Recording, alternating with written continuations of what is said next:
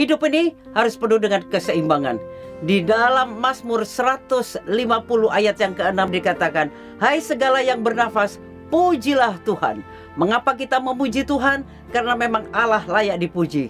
Karena mengapa puji Tuhan? Karena di tengah pujian itu Allah ada. Kalau Allah ada, segala sesuatu bisa terjadi. Hari esok kita menginjakkan kaki di tahun yang baru, penuh dengan misteri. Oleh karena itu kita selain dalam keprihatinan juga perlu dengan optimisme menghadapi kehidupan ini. Ingat, tembok Yeriko dirobohkan oleh karena pujian orang yang percaya.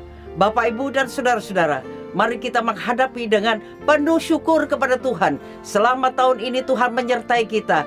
Hari esok dan seterusnya Tuhan kita percaya bahwa Tuhan menyertai kita. Sebab itu pujilah Tuhan.